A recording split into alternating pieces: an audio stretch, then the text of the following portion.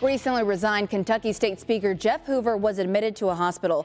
Good afternoon, I'm Juliana Valencia. A statement released this morning, the House Republican caucus explained that he had been admitted for testing due to a heart-related issue. They offered no other details, writing his family requests that their privacy be respected until further information is available. Representative Hoover became the first Republican Speaker of the House in nearly 100 years during the most recent legislative session, but was forced to resign Sunday following reports of a secret settlement of sexual harassment.